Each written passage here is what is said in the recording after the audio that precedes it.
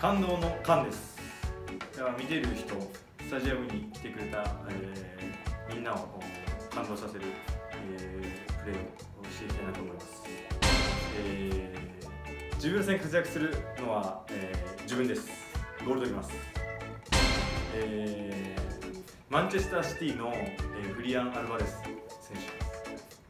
手もうあんだけプレス行って、あのー点取れるのはどうやって、あのどういうメンタリティでやってるのかなっていうのは気になります、えー山崎選手です。あいや。山崎選手は天然すぎるんでやっぱしっかりしてるうん宮吉選手です。以上です